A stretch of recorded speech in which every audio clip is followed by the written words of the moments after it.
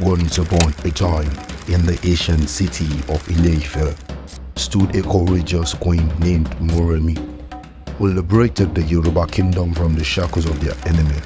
She stood tall amongst others, a beautiful and courageous woman she was.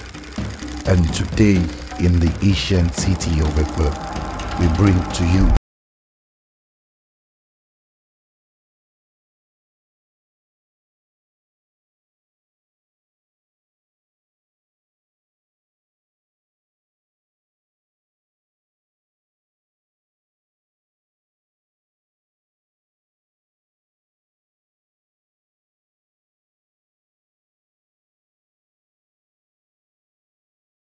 to compensate our mothers.